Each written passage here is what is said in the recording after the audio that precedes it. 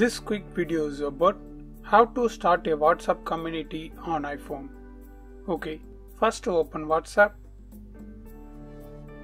Then you can see this communities option. If you didn't see that, just go to App Store and update your WhatsApp.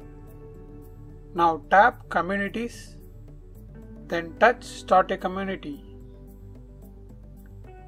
And here type your community name. Let's type daily doubts 1 and here you can add your community descriptions like rules and regulations if you wish. Then click here to add your community profile picture. And choose photo. And choose the one you wish.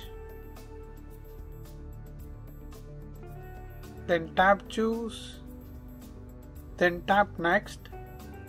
Now here you need to add other groups like your family whatsapp group or your business group like that.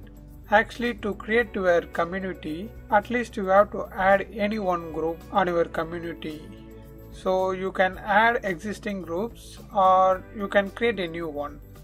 I just choose add existing group and choose this one. Then tap add then finally click create.